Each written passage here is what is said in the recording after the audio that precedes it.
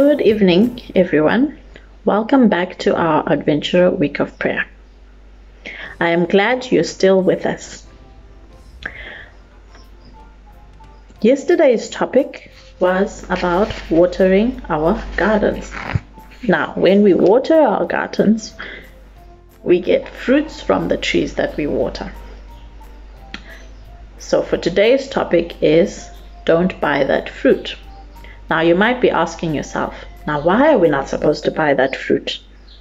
But God has a reason. So, you will hear the message in the sermon. Our memory verse for today is Isaiah 12, verse, 20, verse 4. And it says, Give praise to the Lord, proclaim his name, make known among the nations what he has done, and proclaim that his name is exalted. We need to praise God in everything, for everything that he has done for us. So I will leave you to hear the sermon. Don't buy that fruit. Good evening, everyone. Um, my name is Anzani Gabi, and I'll be doing the the, the adventurer pledge. Because Jesus loves me, I'll always do my best. Thank you. Adventure law. Be obedient, be pure, be true. Be kind, respectful, be attentive. Be helpful, be cheerful, be thoughtful. And be reverent. Adventurer, a moment to live. We are learning every day to be honest, kind, and true. To be a spirit, do and do. We are adventurers. I will go, go, Geo, go, go, Geo, go, go, I will go. I will go, go, Geo, go, go, Geo, go, go, I will go. Oh, go. I follow your God, I will obey. Whatever you say, I will wait. You give me all I need to show this world your love. Oh, go, go. I follow your God, I will obey. Hey, whatever you say, I won't wait. Let's pray. Dear God, thank you for this wonderful day. We thank you for thy protecting us throughout this day. Now may please bless the homeless people and please bless those ones which are sick. May please bless, make the COVID go away so us can meet each other. And you please bless us as we also think about our death. Jesus pray. Amen. Hello. Hello. My name is Wantula Sikazri. I'm six years old and I'm in the Busy Bee class. Welcome to day five of the Venture Week of Prayer. And today's title is Don't Buy That Fruit. And and the mm, message for today is um Okay, must I help you with our memory verse? yeah Okay, it's from Isaiah. Which one must I read? Isaiah Mm-hmm. 12 verse 4. Okay, I'm reading Isaiah 12, verse 4.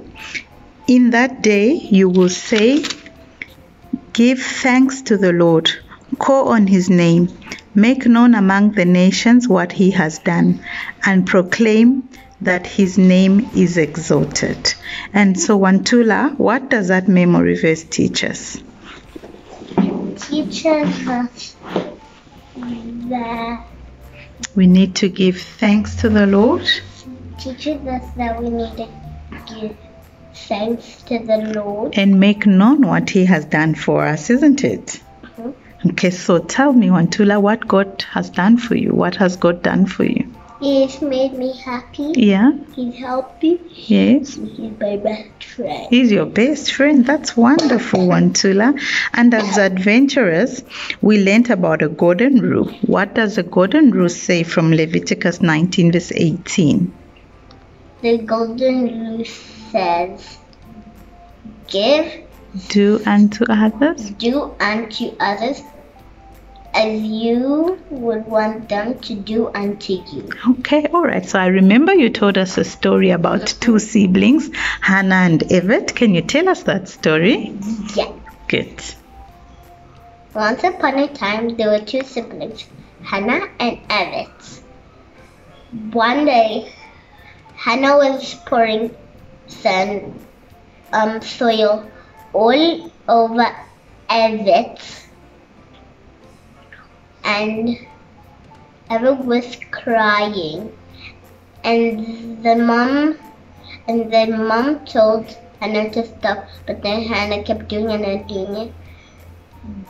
But then Hannah filled it all the way up and she poured it all over Evet. And um, and and Evet was crying as loud as he ever cried. So then mom told Hannah did the same thing to Hannah. And did Hannah like it? No, she did not. Hannah went inside to get clean. That's the end of the story I'm gonna t- I was telling you. Oh, thank you so much, Wantula, for that story. You're welcome. And so we learn that when people obey, there are great results that come with it. What is important is not to take things like the Ten Commandments or the Adventurer Law and the Pledge as rules, and that they are boring and add our own spices like Hannah did. We pour bad stories of sand to the people we love, and yet we know very well that if it is done to us, we won't like it. So, Wantula, what is our conclusion on our arrows lesson for today? They're sharp, Yes. pointy, and they aim at top. Okay, and sometimes what happens? You miss. You miss your target, and what do you do? You start again. You start again, you don't give up. That is correct, tomorrow, uh, Wantula. So, what is our topic for tomorrow for our next adventurer? Why and because. Hmm, Wantula, is that a question or an answer? We'll find out. Bye. See you later.